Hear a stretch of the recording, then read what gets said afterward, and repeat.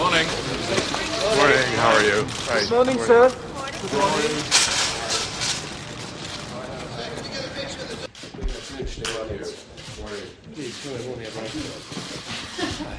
Thank you, sir.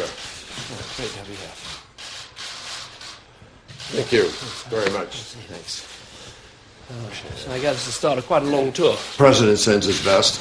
Couldn't have been more pleased with his conversations with you and uh, his last visit, and we're just happy to pick up. You know, we're looking Yeah. forward to seeing at the, the G8 in uh, Lough Erne in Northern Ireland. I think that's going to be a, a good So event. wait, and congratulations, you're the president. You are the We've got the responsibility to try and the, the coordination over Afghanistan has been very well.